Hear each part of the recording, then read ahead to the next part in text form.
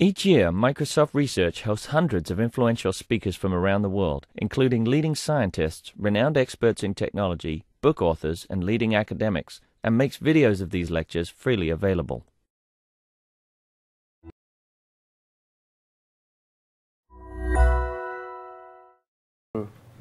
So it's it's my pleasure to to introduce Alvaro Cassinelli. Um, uh, Alvaro and I met in 2005, right, at SIGGRAPH, and then we did this uh, trip to Paris, no, Yeah. to Laval, Laval and uh, with Benko, and uh, had a good time there, showing our stuff.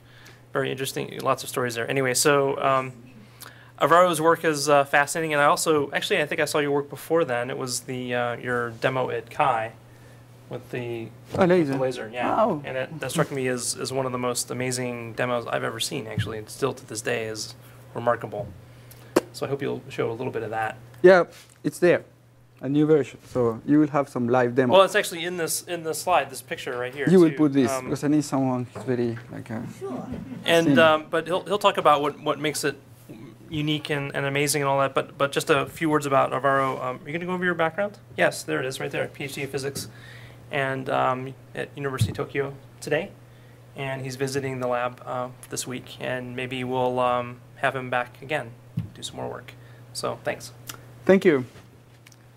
So, yeah, I hadn't, as I was saying, like a complete introduction about why, why I've been doing like uh, media arts and, and science. But yeah, basically when I start, I was, and I'm trying to to all the address your your kind of oscillation between art and science.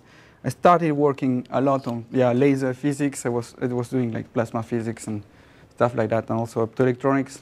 When I went to Japan, people were using technology developing things with a very clear purpose, making it faster, like I was showing these kind of robots, things like that, without not really a clear purpose in mind, as you were saying yesterday, for the hell of, uh, of, the, yeah, and the hell of it. Yeah. and, uh, yeah. And that, that struck me, I mean, uh, this kind of intuition, this kind of vision when you do something and you just start to see it, you know, with a different angle, a different perspective, it's beautiful. You don't understand exactly what it will be useful for. And then, yeah, basically, you, I couldn't publish this kind of result on, only in venu- venues like uh, maybe eTech or CHI, maybe ArtTrack, and things like that. So I started thinking that, yeah, actually doing media art is a way of doing actually research, have a platform for having a lot of feedback in a completely non-controlled environment. And um, well, basically, I consider myself an inventor. So I think many people maybe solve the problem of I'm an artist or I'm a scientist by saying that. I'm just like creating and I need this feedback. You need feedback. So papers, whatever is feedback. So I'm a laser guy. so uh, today I'm- I'm not going to go on all these works because uh, I've been doing and sometimes uh, they are interesting for me and maybe not for others. So just work talking about this latest areas I'm working. I'm still working. I'm still trying to work, which is like human-computer interfaces. And you will see some of these works become like media art sometimes or like research, depending on the public only. And uh, something I call a proprioceptive interfaces, which is a kind of extension of the concept of tangibles, tangible uh, beats, tangible interfaces. I think it's more not just that you touch it, but you feel it with your fu- full body. Um, then also, uh, I've been working a lot. Can you see very well? Because I see very well here, but the contrast doesn't seem very. I can't like shut these lights off. Sure, a little bit better lights.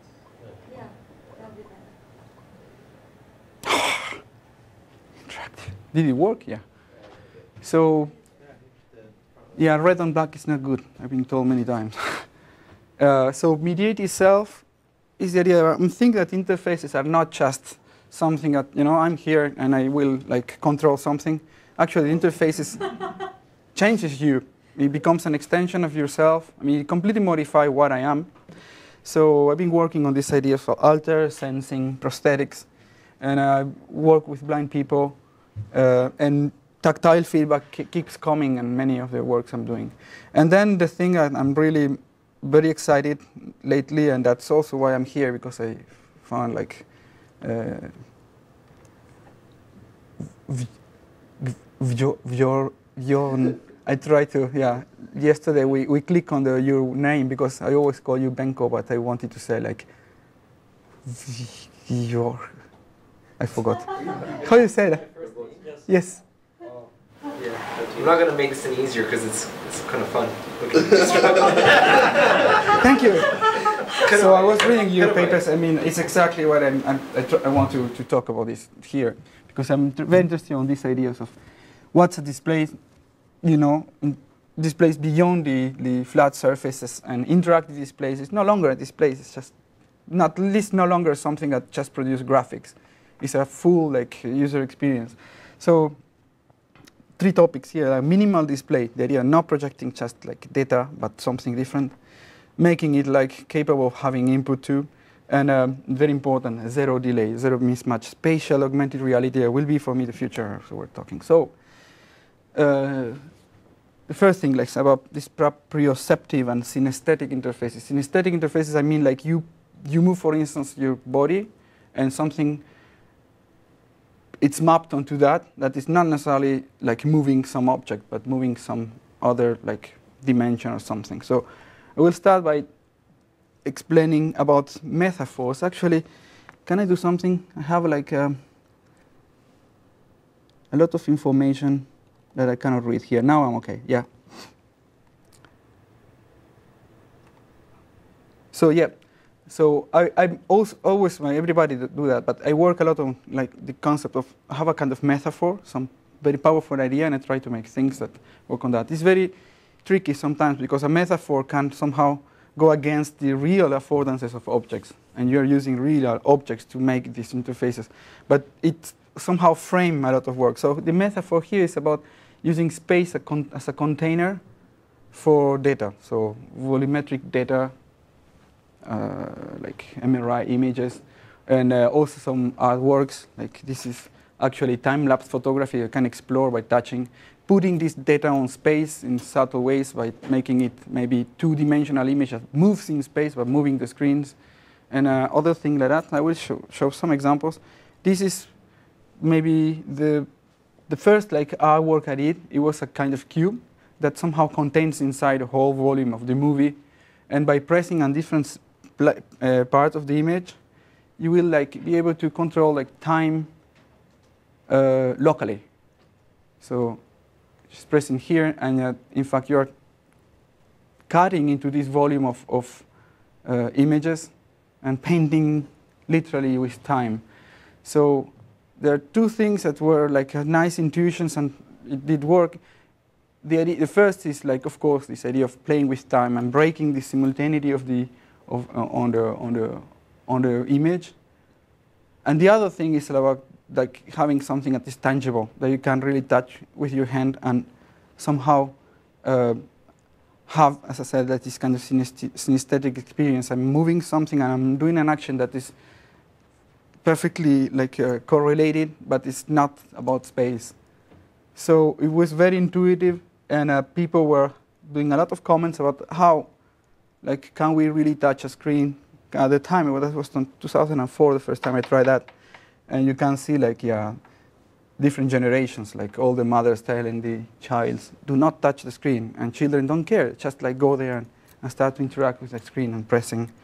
Uh, so I, I, start having this feedback. Wow, it's very interesting. The surf, the projection, the surface where we project is actually the the locus of attention. In fact, you know, it's not just a display; it's an interface somehow too. So, just quick question that for me was interesting is like what really technology was really bringing to this uh, uh, kind of interactive cubism experiment, experiment. Because of course it has been done a lot of time, like with digital photography, with argentic like photography. It's called a slit scan, right? So I think the point is like you you have this real time interaction.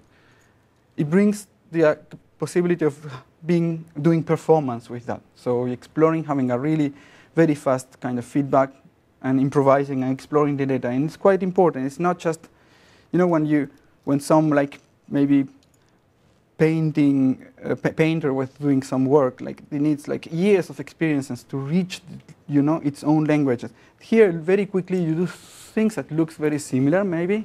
I don't know, let you decide. But somehow, I was wondering, is this good or not? Because actually, all these years of practice to reach a language, you know, it's like somehow disappeared. Now we are making this up very quickly, and now it's you cannot really go beyond the aesthetic that machines like give you. So that's an important point I've been discovering. When you, you make all these things, you get trapped in something that looks always the same way. It's very difficult to break this. You need a lot of practice. So this little square here means that when it's orange, it means science. When it's green, it means like kind of art project. And this is, I've been requested to by some companies. Here it was a, a it's a nuclear facility where they had like proton uh, images of uh, objects inside. And then instead of having time, you can see inside objects by having this tactile feedback or zooming here, also other things. So pressure related, again, it transforms in something that is either like zooming, either seeing inside objects. And well, you can go like for millions of strange things. There was sculpting like volumes by pressing and starting playing all that. So that's kind of fun. But then paper we needed to publish, and that's a paper it was for this one of the conferences. I think you were also chair. So can we really make this serious? Like, can we really sculpt like three-dimensional data or find things or controlling a CAD system very precisely? So with my colleague, like uh, he's not here, he wanted to come. We developed this, which is a version much more um, precise of this Khronos projector flexible screen, not based just on some infrared light. If you have a technical question about how it works, I will, I will answer. The other one, the system was using some, something called Vision Chip and um, sh uh, shape from shading. This is using like structural light in real time with lasers and things like that. So you have a very, very good precision. And then you can really manipulate like this, these um, uh, things behind the screen. And the metaphor somehow changed. The metaphor is that you have a volume behind the screen, which is virtual, and then the real world. And then the idea was instead of having a, a mouse in which the mapping somehow must happen in the mind, this is a membrane, the screen is a membrane that so this, this, and this 3D axis doesn't change. I mean, it looks perfectly natural. So can maybe sculpt. I mean, you'll see like there's a moment in which we try to actually uh, do something like clay, uh, like uh, yeah, manipulation, by having always passive feedback. And passive feedback was somehow enough. Oh, I didn't press the chronometer, so my talk starts now. hmm maybe it's uh, too early to ask. So I saw one in this, you have, a, you have a space, then you manipulate. The other one is you have a 2D, then you have a time at the third dimension you manipulate. Yeah. Do you have any work to join space plus time, then manipulate? I don't understand. So you, the, you, your uh, projector, it's, it's a 2D, it's a video cube, then with yeah. the time over there, you manipulate on that. This one is a 3D mm. The object you manipulate. Mm. So I wonder if you have a 3D object plus the time. You have projects like that, so then you allow the interaction with it. Like the thing you were doing, like with the 3D object yeah, that my, nice information about that. so yeah, I, I, I would love to, if we have XYZ plus T, then you're able, able to create the interaction with that. So that would be uh, Oh, okay, I see. It's, okay, yeah. No, no, no, I, yeah, I didn't talk about that. Yeah. Interesting. Yeah. Wow. I don't know how you will. Okay, that's very interesting. We will. Yeah, maybe something. You have a kind of sculpture, something you touch it, and it goes to some state that was previous state or something, using virtual reality. Yeah, that, that's that's interesting. Yeah, probably. Yeah. Okay. Yeah, we'll talk more later. So yeah, but I've been trying to map many di different like spaces, like uh, different dimensions, like was time, space. I try also like maybe more like high level cognitive like uh, uh, understanding of the image. If the image, for instance, if someone was like maybe sad, the face will maybe stop in time. So you can do you can mix all this coordinating. But yeah, I understand what you say. Another affordance that it's very interesting was given by the fact that you can like play on, on a surface instead of just having some kind of linear control on tracks. So tried this experiment for a performance at the Museum of Contemporary Art, like 64 channels of video with sound And by touching different places on the screen, you can control delay and, um, and uh, speed. And then it's like having a chorus of voices. If you touch here and here, the, the intersections will go faster. So it was, you have this visual rhythm that correlate with so sound. And there was a lot of interesting things to explore. Um,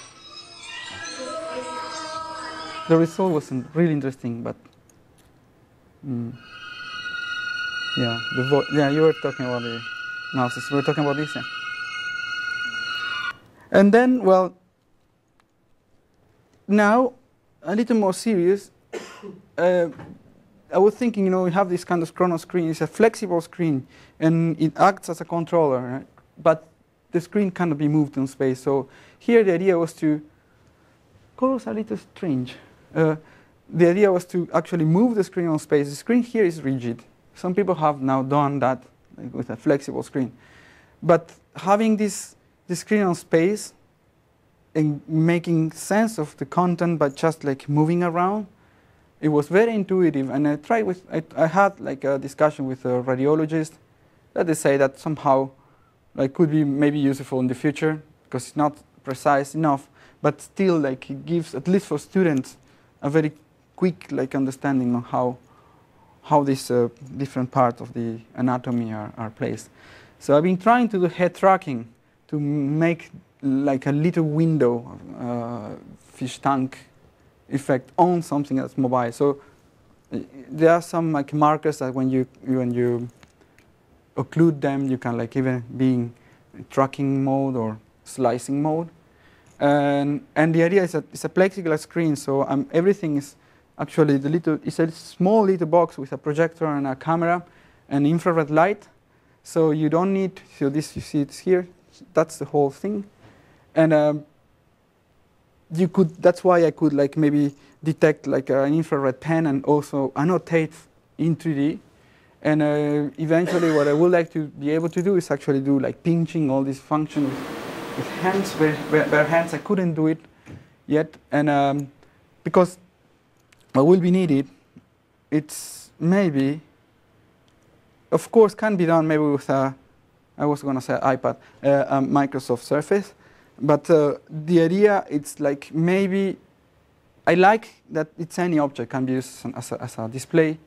And of course, if it were a little transparent, if it were maybe made of acrylic, because I'm putting the light from down, maybe I can like couple the light inside the screen, and it becomes an FTIR like interface. I can do all these things, but at the same time, the position of the screen somehow control the um, the content. So there were some attempts to use this for a kind of performance in which the surface of the people were actually the screen intersecting some virtual objects and, uh, and having a kind of Boolean theater.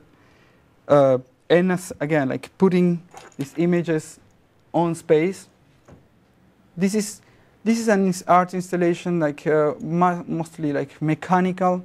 So they have some behavior that depends on where the people are on the on the room, but this elephant is always flat, but you start feeling some kind of three-dimensionality as, as you move because it feels space. It, it, has some way of moving around that depends on the, the shape of the animal. So uh, I was very interested in how you create the sense of uh, presence of this virtual object uh, without using you know goggles or something that will like really actually show you this three-dimensional thing. And one thing that comes to to mind is like, well, tactile feedback again. So uh, the motivation for that is like sometimes you have like people, for instance, that do like actors in a, in a, a chroma keying like, setup, and they will collide. You know, you have the CG augmented stuff, and they collide with these objects. So normally they have a screen and have to see themselves interacting with these objects. So the idea was to maybe feed them with uh, small vibrators in the joints, and then as they go, like move to towards like near some this three-dimensional object, they will feel the, the, the force fields. Uh, that's a very early prototype using like a ultrasound sensors, ultrasound like a custom-made ultrasound like a tracking system. Uh, that's Here there will be a kind of virtual column. We're changing the color here.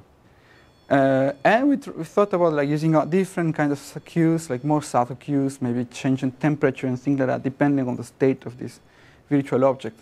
So again, like a question, how to generate this sense of presence? You don't need more than that.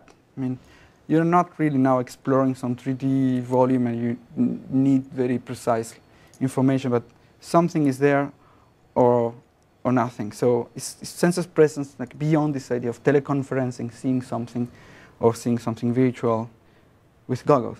So that's the art part now. I was trying to create this sense of uh, uh, embodiment, of being somewhere, of being uh, some presence of, in this case, yourself somewhere else. It's a small experiment.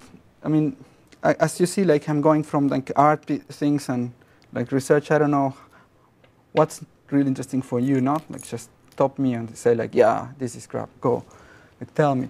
But this is for me was very interesting when I start playing because it's really dis disconcerting. I say, very weird. Uh, actually, I made a little box with a stereo display. I put a display. It's custom made again. It's two, two screens and some special optics to make it really 3D.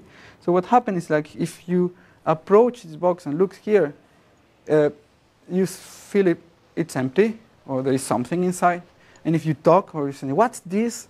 Actually, you get trapped because there are two cameras behind you separated by 10 times the distance of your eyes, and the whole room looked exactly the like the box. My original idea was to make the box exactly, but they couldn't really close it, so it was just a corner. So what happened is that the whole space kept trapped inside. With some little time delay, this is a classic in, in video art since the 70s, delay. So what happened is that you see yourself, then you say, oh, wow, where is the camera? So you turn around, you see the camera, then you look here and you look yourself, like looking at in your eyes. It's kind of scary. So at one moment, you don't know where you are, and people get really trapped, literally. That's why it's called Lego. So there is a little sense of uh, um, disembodiment, where I am. So that idea started also to be a, a very a driving a lot of little experiments and research I did in the lab about where do we place where do we place our like uh, our self you know? Where are we in these kind of interfaces? When you're like talking on skype to someone else where are we? Okay we always somehow we know that okay i am in my head. I mean it's what people will say. But with all these interfaces with all virtual reality where is the center of gravity? You need the center of gravity otherwise you get lost. The sense of control you know? Where are we? Where is the the in, yeah, this? So this started like like this kind of piece, art piece. And then I start thinking, yeah, maybe this, maybe uh, something that existed before that produced the same uncanny effect is a mirror. If you wake up in the middle of the night and you're a little sleepy and you go to the bathroom to get water, I remember once I did that and uh, I was totally sleepy and I look at myself and I did like, ah, just, just like choking. I was so scared. It was, no, it was really, I had a kind of reaction, wow, I was like boom, boom, boom, you know? There is something very interesting about mirrors, and we get, I mean, we don't have mirrors since long time. I read three books about mirrors. I get completely obsessed with that. How can be that we are really not totally fascinated by mirrors? We put mirrors everywhere, and it's the most disturbing experience, you know? And we are now doing that. We are connecting cameras and putting everywhere, and like, okay, so this center of gravity, the self, is being completely destroyed. So we need to reconstruct it through these interfaces. So that's what I call like interface for me is an extension of the self. It's a kind of you are like manipulating that. You have to be clear where we, what are you trying to do. So uh, I was thinking that this could be maybe the future uh, super mirror, for instance. Yeah. For instance, a very simple application because this is orange could be this mirror in which you can see yourself from any side or using the cameras everywhere in, in the city to have the ability to just look around to any object. People have done, done, done that on cars. This is, uh, how you call that, this AVR, AVR system, uh, AVS system, that you can see your car from as if you were looking from top to park, right? So actually we work, now I can say because it's a secret, but I work, we work with some uh, car company company. I cannot say the name of the company. I think you know which, which one. So the, the idea was to extend this concept by actually networking, you know, like the plate of the car to the camera were in front of the car. So for instance, it, it becomes invisible. You can look through cars. And uh, the idea was to, to, to, to, completely network all this using like tags. Here was our toolkit. So I just prototyped it with our toolkit and some like a wireless uh, ad hoc network. But normally you could uh, maybe do much more, like connect like this. See, you know, you are in a jam, in a traffic jam, and you can see what what's going on. Like you cannot see it, but just like start like clicking, clicking, clicking on the car, this car, this car, see what's there. So it's like you're routing video.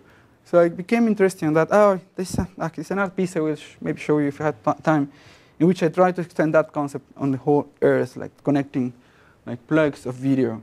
Then you don't know where you end up. So it's more like an art project. So, ooh, uh, I think I'm very late, but anyway. Uh, so about these interfaces, more, more concrete now, now more concrete interfaces, not just about like vision, but I'm been trying on uh, extending what I would call like, or creating new sensory, sensory motor contingencies. That, that's really the much more classic work on uh, augmented perception. So creating, for instance, like X-ray, like vision or whatever, that will be extending senses. So very concretely, like the metaphor I've been exploring since a long time is this, this, this idea that you know, we are relying all the time on vision. Vision is something that really appear quite late in evolution, evolutionary terms. Before, animals like cells were con only concerned about what's really, really around them. You know, some millimeters, chemical something, centimeters, and we are extending this range. Vision extended very much. Now we are extending. Maybe with internet we know like something is happening like some million some thousand of kilometers from here, but still it's not a physical, uh, very direct interaction. So the idea of extending the physical body with, with uh, like cilia, antennas, and things like that. So I explored that from both from machines, so how you know you have like phones and people now are playing by putting a camera here to be able to track hands.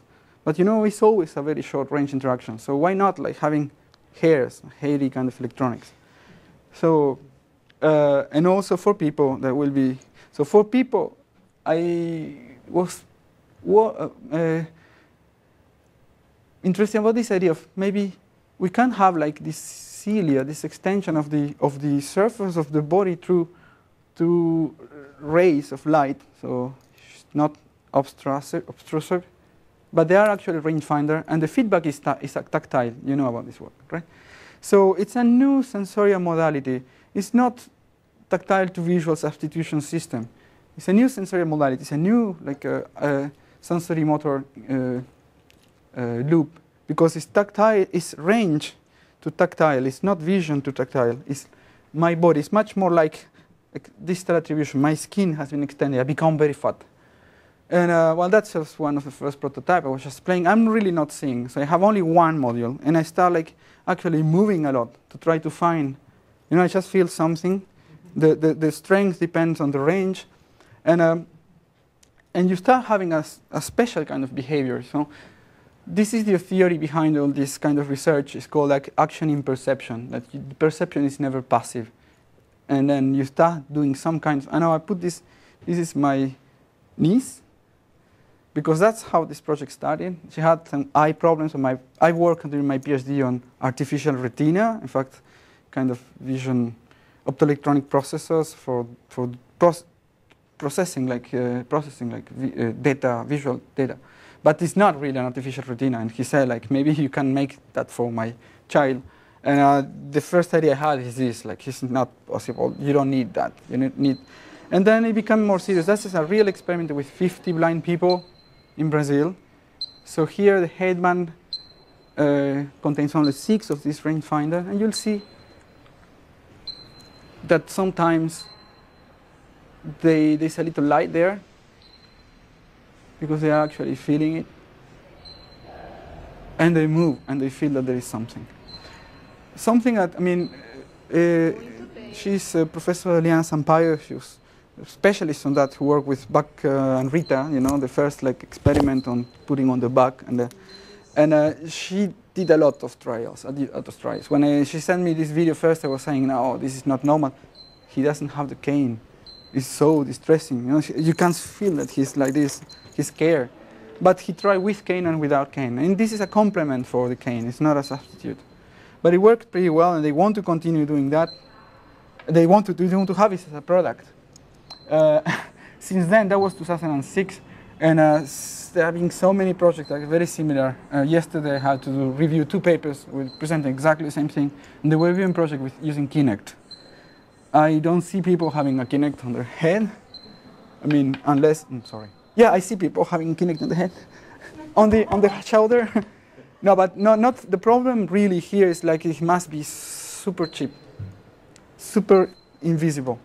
So we thought at the end, maybe at least for children, we could maybe just use some kind of plastic little antennas, because the problem with the child, she was telling something, telling me something terrible. When a child is born blind, they are scared about bumping their head like in front, so they start like walking backwards.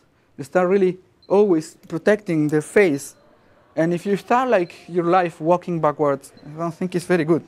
So very early uh, in life, you have to you know, make at least some very simple awareness of what's in front. So people put their ha hands or, or maybe really having some plastic or, and that's the, the Japanese version.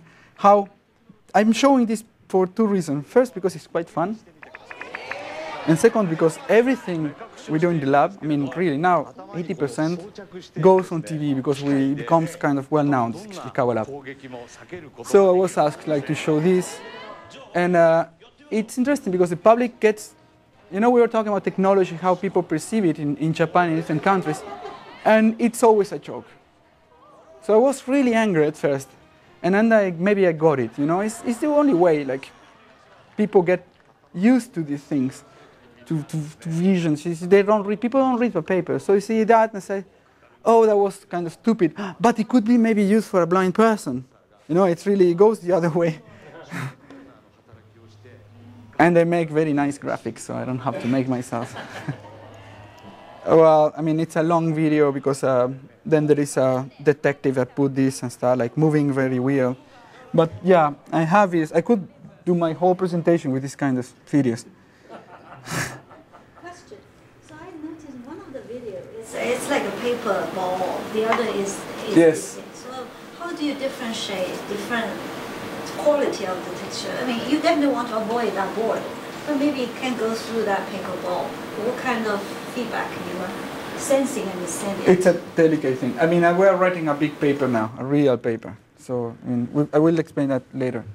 There's a lot of things because it's not just a vibration; it's, it's tactons. We are trying to create a kind of tactile language, and uh, it depends. Yeah, sometimes the signal goes to zero too quickly. It can be because of the surface is is a corner, or maybe somehow, I mean, it depends. It's, it's exactly like, it's a kind of very simple uh, optical processing. I mean, there is no camera, but you have all the effects of, uh, yeah, reflectance of the surfaces.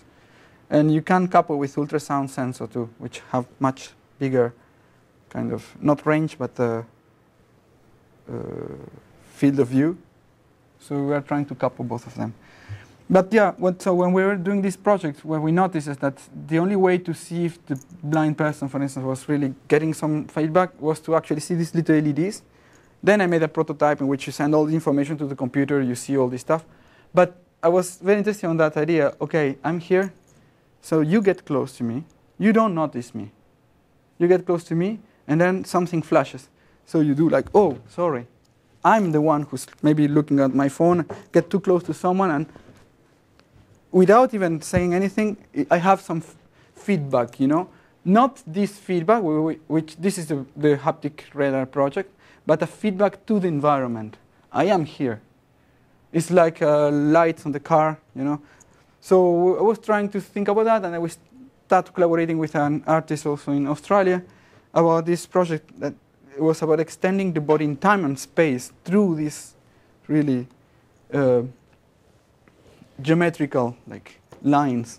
So we put like a lot of lasers on people, actually dancers, professional dancers that dance with in the company of Foresight. So, and uh, we just try to see what happens if you have a body that is extended and somehow interconnected because it has a lot of motors here. They could move like up, down. This video is very short. And they move not because he's moving them, but because of the other guy, this partner, can move and they map, it's mapped onto, onto this body. So it's like you have an, an extended body and a shared body. That was really open, open kind of research. No, it's no at all like kind of very serious uh, research on that, and was just what happened. So when the most interesting uh, result here was that uh, I cannot believe like it's not working. Technology, this technology. Ah. It was that when you don't see the dancers, you see all the projections on the building, little lights, and you see that something is moving here. So there is a kind of projection of, of motion. And another thing that, that was really pain, like, it, we, we really put a lot of LEDs on the vest and made a model of, a, of a, some kind of light substance that can go on your surface of your body, depending on how you move. Like you will maybe rotate and do things like this to extend it temporally. The motions, you know, if you run like this or you do like this, it start like spinning around you. So the idea was try to make that effect like very strong, like visual kind of inertia, a kind of blur motion, like never things stopped very clear. So we made many prototype, and uh, so that's the first one. When I was not very fat. Now I kind of put, now I really kind of put in. Uh, yeah, a lot. Uh, what I'm showing here, because I, for seeing the laser, you need some hazers, smoke smoke machines. So this was how it was exhibited, a kind of big spiral with a lot of speakers. So there was these lasers when people will move. It was an, uh, a kind of, so dancers were inside, but it also works a kind of public installation. So as you move, you, you, your motion was detected like the, like the um, elevator, like 3.0. So much better, it works. No, sorry. Uh, when it when it detected your, your acceleration and started like spinning sound because there were eight speakers, so you there was flow of of water going a kind of spiral. You know, we were trying to bring this space, which is very very kind of uh, uh, urban feeling of uh, nature, the power of nature. So this there was a big sound, and one week later it was an earthquake. So yeah, it was a kind of wow we just invoke the power of nature. So yeah, not so fun. Well, I don't have a lot of time, so I'll really go quickly. That was played a lot of things like face vision and um, another video. Now this is BBC. Cats. You know who knows her? She's, uh, yeah. it's Joanna Lumley is uh, absolutely fabulous. This she was Pat, Patsy Stone on one really famous movie, I mean, uh, kind of program. She's is one of the Bond's girl, and she she was making yeah. Sorry, don't look here. She was making a promo, pro, pro, uh, program about cats and how like cats have actually an extending body through the whiskers. So uh, how can I have this? So she, she I made for her this kind of strange mask and uh, she she's very polite in the video. She said, "Look, that's interesting. How with a British accent, how cats can see." In fact, she was saying, "Fuck this is awful. I will never do that again." I mean, it's really no. It's because it's a terrible thing. You feel like Hannibal Lecter, and you feel a lot of vibration on your face. You know. Uh, so here I have all these kind of her vital signs because everything is like a send like the sound is very low.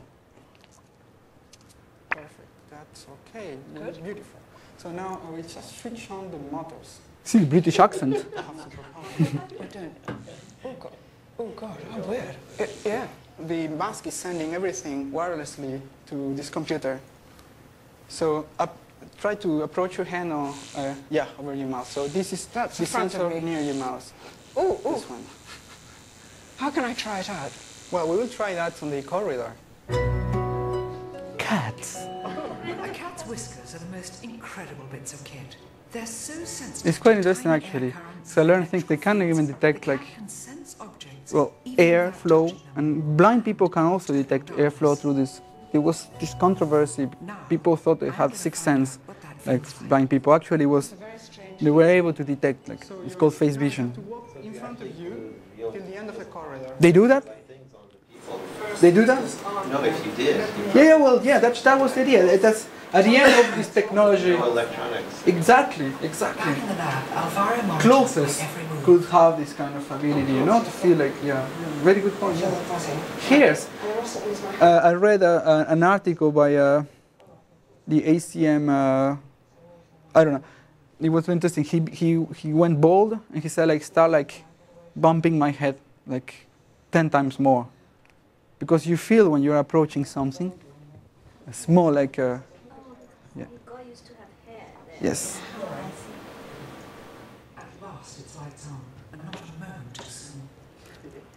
A soon.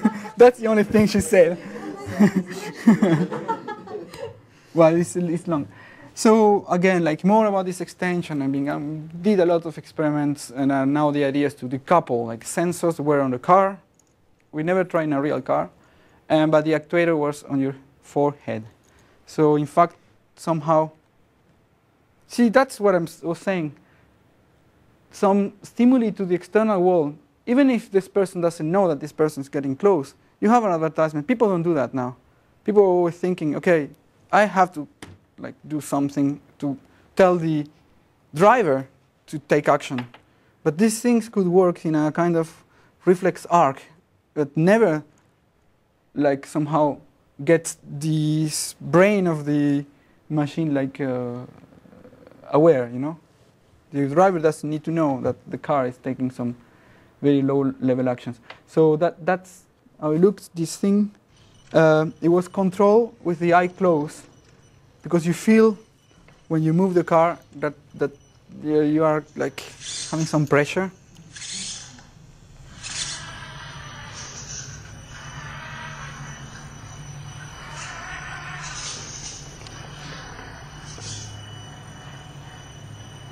And well, I don't know if it will be it could be maybe used on a real car, I think. I don't have a driver license, and I sort of think that if I had a car, I would like to have that somehow. no, it's true, like because you know, I, I, for me, it's magic how people car, park their cars. I don't know, I don't understand. this is a sixth sense for me, so I need to build my own. see, see, it's really it's cap- you're capable of doing a lot of things and stop and you're not seeing. Ah, that's too easy. No. So yeah, one. Now let's go now to this more like the last point, the thing that really I'm very much interested in. This idea of uh, what's what's a display, what's really why we, why we are trying always to address somehow the, the neocortex, like when I'm sure all reading, you know, is occluding so much data. So thinking about this ambient displays, all this is very fun. And, uh, but you need very precise, very concrete like cues, and uh, you cannot also be looking at the screen for having something that even is, if it's a simple cue, you have to read, to look there. You need to have these places that are of course ubiquitous, and there are also the the the, con- the the content is related to where they appear. So we'll show you some examples. This is something what could also be a kind of extension of the self. It's called the laser aura. Uh, the idea was like, you know, in Japan it's don't express a lot in the office. But, um, but I was wondering, you know, I'm, I'm working, uh, I want to know how, can I interrupt you or something like this? You know, like you, in social networks, you always have like available, not available, something like this, but you don't, it doesn't happen anymore in the, in the physical world. Why? Because we assume that if you are there, I can like, hey, Maybe no, maybe I don't. Yeah, yeah, yes, yes, exactly. So the idea was to show something around the person, this kind of aura. And uh, the experiment here was very simple. Uh, we tried with some uh, uh, Mindflex to, to try to measure some EEG signal that didn't really work, and then like arousal through skin conduction. At the end, it was just like uh, sensing the vibration of the chair because he was like stressed, like he's talking to me. So you have this kind of aura, right? And uh, the aura could be like this minimalist display could show a lot of things about social, like d- distances, emotions, and uh, I want to go to toilet. or objects. Where is my banana? this is I just show. Yeah. Uh, exactly. Where's the key? So that's what that the comment that you read. Did you read it by uh, Bruce Sterling? Bruce Sterling is this famous like uh, uh, science fiction writer, and he has actually commenting about this project, all these things. He, he started reading that, and he, he gave me a lot of interesting feedback. And it's true. Like, don't inflict major intervention on reality. A laser pointer, you know, it's so nice. Keep it always like for hours and run out of battery. So then, what I say minimal displays doesn't mean small, or by no means. So this is another experiment we did um, on a on a mountain in Finland. Actually, oh, what is the video? Just okay. I want to show the video. Ah, ah, ah. Close your eyes for uh, 30 seconds. Listen. To, ah, I know. I can't believe I don't have the video. Well, anyway, I don't have time either. So. Okay. So never mind. Never mind. So well, we tried to project like interactive graphics on on on ski um, ski ski what ski ski slope ski jo in Japanese. They always say ski jo. So here it was a kind of uh, you can see that on YouTube. It's a seashore, and people can play with the seashore. So we use two two ways of tracking people and make this interactive. Was like either like with a camera or using the laser sensing technology that I will show in a moment. Because the problem with all these kind of interactive displays, iconic iconic displays, things like that, is like in particular for games and for, for really interacting with people as if there is something there that has intentionality that reacts to my actions then I, I believe like very much that you don't you cannot afford having mismatch spatial mismatch or time like delay so it's very important to have some key technology for that and I think of course there are two two ways to do that one is like uh, smart sensors, all these things are being developing. I will show an example. And the other is, of course, vision-based, and uh, the technology will evolve, and um, they will converge. So, uh, but the goal for me is not really the goal. It's something that will happen, but it will change things radically, and people will start thinking differently about that. So, some project about this smart sensing technology with lasers that I will show now very quickly. It's the book flipping printing, or skin games, and this idea of a robot made of light you see how it goes. This idea of a robot made of light, because of the display and the place where you display the graphics make is, is, is part of the message. You know, it's not that I have a display here, you can put any information. Where I'm projecting may, means something. It's like a person, you know, I'm talking, this person is saying something, it's not the other one. So I think that somehow it becomes a kind of uh, living being. That's also very similar when I read your paper about like Beamatron. Beamatron? The idea that you are location based like a display it already have a lot of meaning it doesn't care what you are projecting it depends on where and how it reacts so for the more like technically in inclined say that inclined okay so I just a word about how this laser sensing display LSD technology works uh, you have like two or more like lasers that are completely collinear one is for sensing and acts as a rangefinder.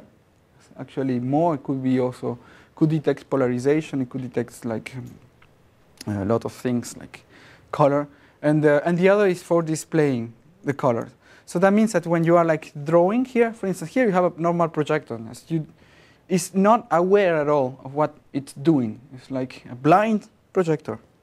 Here, it's actually being able to sense the same way when you write or you do like calligraphy or whatever, you feel the surface. So that was a key point. You have something that actually feeling where it's uh, writing. But per pixel, it's not like, okay, I will write a full letter, I close and then I look, oh no, it was curved.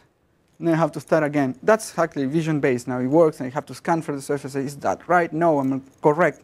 So here is like each pixel, I know where I am. Oh, I'm not touching it anymore. I'm not at the right distance. I have to maybe pre-warp or whatever. So the, the technology works like this. It's just this idea of having a beam that can at the same time sense. And uh, apply it for machines gives you this, for instance, what I call the markerless laser tracking. That was 2004 technology. So here you have like a galvanometers and one photodetector. So there's no, no imager here, just detecting the reflection by uh, doing some synchronous photodetection, being able to somehow measure distance was uh, quite good precision at about one meter, about like millimetric precision. And of course, like this kind of transversal precision is very good. That's what you saw in CHI. So that was the first idea was to make this kind of minority report thing because it was the year of minority report and it was fun. Not no markers. You know, the guy had markers, so I felt so good for, for a year. But uh, nobody knew how this worked, and now we have SixthSense with markers. But uh, I still think that it could be interesting to do something like this. Because not necessarily with galvanometers, but maybe with uh, VCSEL arrays, with many arrays. Again, same idea. You are only interested on a short range interaction, so you can have like a lot of hairs, like exploring the, the world around, and then measure the size of shape of your hand. It's basically a rangefinder, a, a rangefinder camera. People are now doing that. So, yeah, we all could contribute a little part on this kind of reflection, and then it's very quickly obsolete. This is another like application, more inspired maybe on a uh, Blade Runner, there's one moment uh, Harrison Ford is controlling he's zooming on something by just talking, and it's completely non-functional. He's saying like to the right 10.5 centimeter. I don't know how he knows, but no, it's like about like like yeah, speech control interfaces. You are like you know exactly how you want to do. It's not doesn't work. You need painterly interfaces, as Golan Levin says always, like something that is like more like an improvisation, and you have a very fast feedback. So here is controlling like six degree of freedom with just one finger and no markers, zooming, doing some very simple like gesture recognition for zooming and dezooming. Uh, so that was for machines. So I said like, yeah, you know, like having hairs. And uh, don't know how much time I do have, if I have time. So.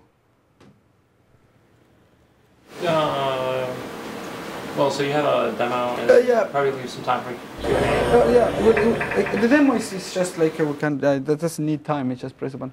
So see, this is this system working without calibration on on anything, like touching there, measuring, doing a local scan and giving a lot of information. That's the thing I was explaining. Uh, it's not here today. To uh, so doing, for instance, Mike. Uh, and then this is this is exactly shows my point about like perfect registration in time and space. This is a raster scan based system. Maybe you saw it. No, it was. It's, it's totally different technology. It's a MEMS based system, and uh, you have an infrared la laser and a red laser. So the red they are collinear. They are moving at the same time. When the infrared laser uh, and one photodetector, when it senses a lot of absorption, in particular in the veins, absorb infrared, then the, the red laser is turned off in real time per pixel. So you have a kind of vein viewer. Now this a company has made that by calibrating a projector and a laser and a, and a, and a camera, an infrared camera. But here, there's no like plane of calibration because they always use homography. So I'm not sure they're calibrating the stuff because they have no marker. Here, it's impossible to lose it. So this is what I call like low-level image processing on, on reality. So on, on the real world, you know, like counter, like enhancement and things like that. So you could have, I mean, maybe on your glasses, something like that, and enhance the contrast and things like that without needing to actually acquire the images and then project something. Someone who's not seeing very well could have this intelligent light that projects and somehow like prepare it was. So I will show this so I don't need to do that. So Score Light is an art installation that uses technology to perform, to make sound. So see, I'm moving the thing and it never like loses the tracking. When to, to make music, I don't know. I mean, I, I'm not responsible for the for the sound part, but it's just the first step. I, we, we're trying to create a kind of language of of, uh, of uh, maybe related to the behavior of light.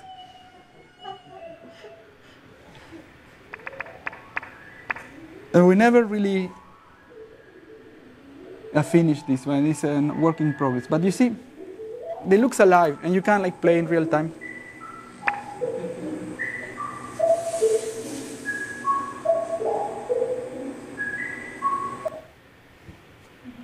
And uh, yeah, that's what I showed yeah, at ITS. So I was. I'm not sure it's possible to do now with camera and projector calibration. This will be a little tricky because these really react instantly when it touches something. So it was just a kind of idea. It's really early stages. As you can see, I'm always projecting a little circle. It's not that interesting, but imagine if you can project like full graphics on your surface of your body. Make like, I don't know, some full battlefield on your body and control things and pass like things. It could be really interesting. I mean, it's opened up so many possible. Uh, so yeah, okay, you'll see something like this now. So I'm, I'm finishing. It's almost over. So for vision-based vision-based like camera projector, you have to calibrate that. This is a, this is a, a, a we were talking that yesterday. Why I put it here. It's a camera projector calibration toolkit that I made for Open Frameworks, and you calibrate it in, in one minute, camera and projector. So it's like doing like this. It's on OpenCV. It's based on Kyle McDonald, this Open Framework community. It's like an extension I made. So you do like this, at the end, it's calibrated, and you start like doing augmented reality. Without a Kinect, of course, now we have Kinect, so you can do much more, but we can combine it. This is a normal camera projector. And um, camera and projector doesn't mean that you don't have anything else. So here, this is a, I'm showing this because he sent me this yesterday. It's the latest version of the so-called book flipping scanning that is being developed in the lab. So here it uses some structural light, very fast cameras, a lot of processing, and is scanning at 250 pages per, per minute, a book.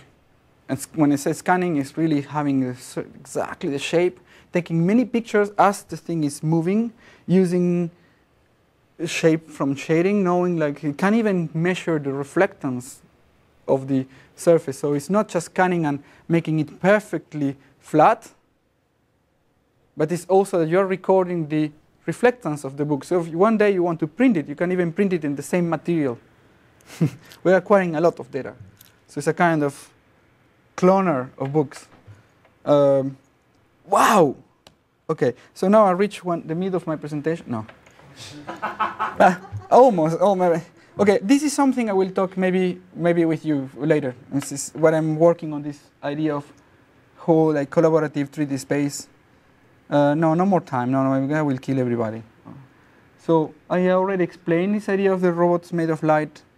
I've been like playing with that a lot, making this little beast that we show now.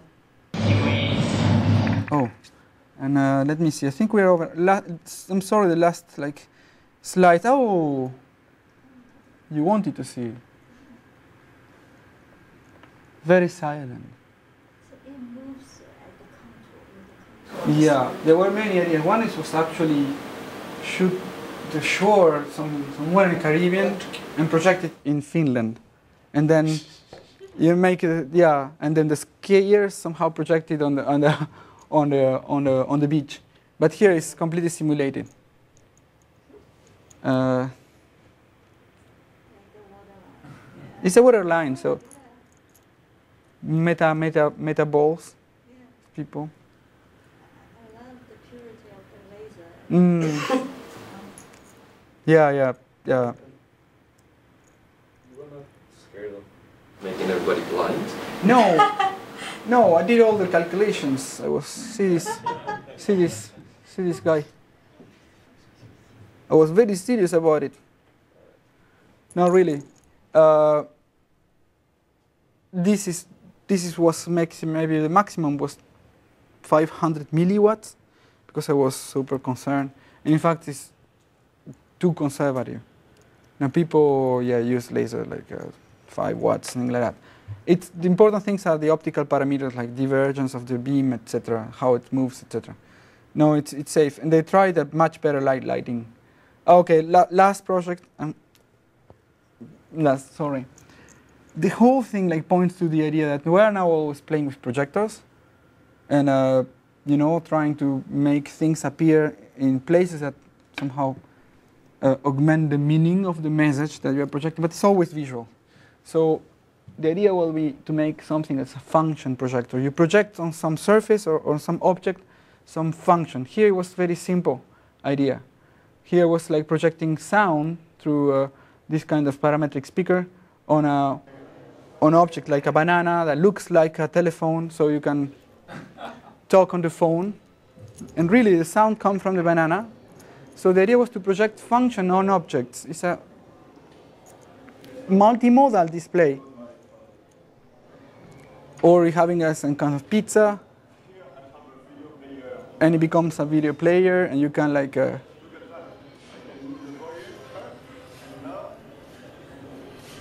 he was my uh, working with, with me as a student, I mean not as a student, technical assistant in the lab for, for some years. We had a lot of fun. That was Laval Virtual, one of the winners last year.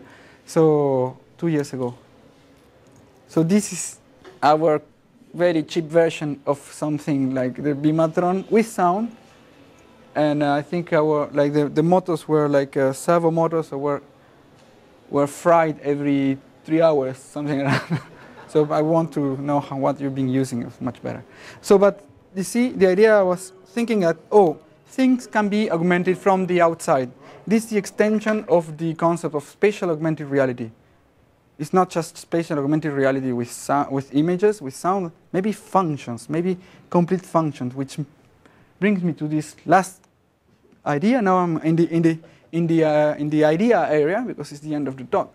I've been working on the book flipping scanning that you saw, and book, I mean, he was, was working, and I also work on book flipping printing, trying to print a book in real time using photochromic inks. So you are like changing the affordances of the ob of objects by projecting with this kind of extended projector from the outside.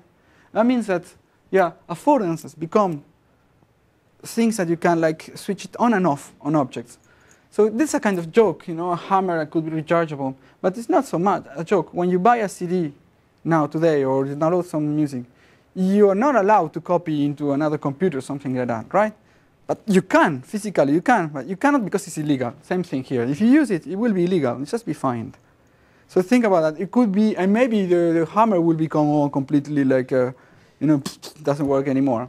But if it breaks, it will be repaired for you because it's a service. You're paying the service. Same thing with everything. We're thinking that could be a strange dystopian or utopian future in which you don't owe things that have affordances. Someone else can control them. So that's why reflecting all this is matter. We can make a lot of mistakes and get trapped on things like that. And that's the end of my talk because yeah. So I've been advocating this idea of reality-centered interface design, which I thought it was my idea, and of course has been like like described like years ago by many like uh, thinkers about this kind of uh, thing. So, and also this idea of real space of organizing scaffold for data versus this idea of the cloud that you don't know where it is. Well, in, in Seattle, you know where it is outside. But in general, you know, I, I need some to place things somewhere, uh, organize my data through space. And generalizing these uh, rules of physics, as you were talking in your talk, like intuitive physics for trying to grasp things, you cannot really because it's not really real objects. So you need to make something that makes sense. And I agree with you. And to date, I didn't see anything that makes sense. So completely, the closest is like what McGonigal was calling this kind of uh, uh, magic walls, in which okay, you have maybe some call that Harry Potter with a stick in one and has some kind of power that does something. And then okay, you know that you have something that has power, like a remote control, but it's too too basic, you know. Uh, and I believe in very much in this, that the you don't people put too much effort on making something that looks very nice, and you press buttons, and that's how you interact with the you design the interface basically. And I think that even if you try to make it as simple as possible, intuitive, etc., you need to learn some kind of set of uh, rules that are uh, fixed. Instead, if you have someone, you modify the system as you interact. Well, people have probably tried that already. But really, it's like how people learn things in the real world. You interact with someone, you, you, learn about the other by interacting. So trying to create uh, physical agents, agents instead of knobs that have a behavior, that are little animals, and can uh, communicate with them and train them my interface. That was about one hour and 20 minutes, much more than expected. I'm sorry. Thank you. Any quick questions? I was curious about that banana. So there's no speakers inside banana. No. It's using special sound. How can you be? See this, see this. People are leaving. I have to make it work. Oh.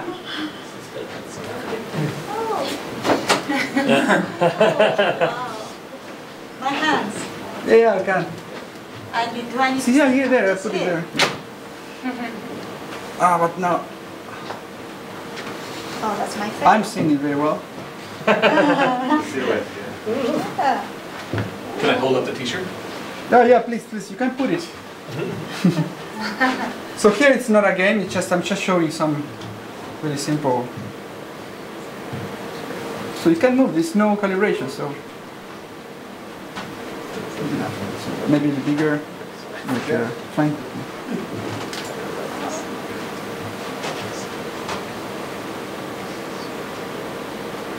So it can bounce. It can many, many things.